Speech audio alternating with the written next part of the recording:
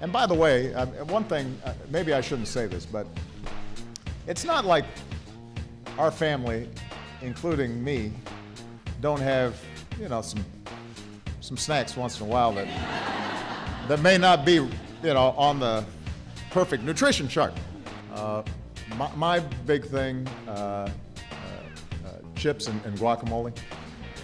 Like, like, basically, if there's a bowl of good chips and guacamole, uh, he loses it. I loses, I lose my mind.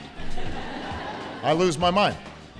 Uh, and uh, the first lady, French fries.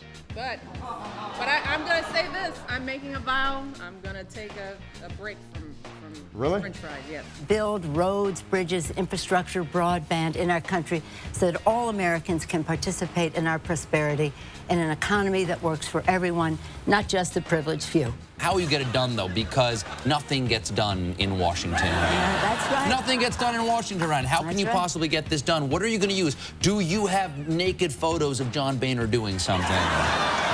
How could you possibly get... Because the Republicans... you got the mental image? You got no, the mental no, image? I And if you do, and if you do, is the tan uniform? No. No? And so I... Uh, as uh, Deborah will tell you, my daughter Ashley Biden is on the board of the Wilmington Urban League. So I got an it. Here's the point, man. Uh, uh, and Deborah will tell you this is true. My daughter is uh, my my daughter's so. I should have. I should have had one Republican kid to go out and make money, uh, but um, uh, my, uh, you know, so when they put me in a home, I get a window with a view, you know what I mean? And,